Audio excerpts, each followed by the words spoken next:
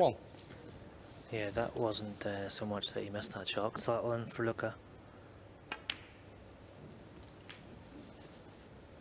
And he's left them really nice for his opponent. We've already seen, as we see this attempt, he shouldn't have been anywhere near Cannon in the pack there.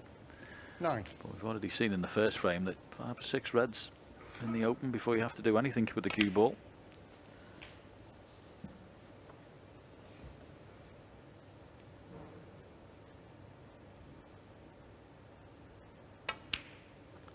Seventeen.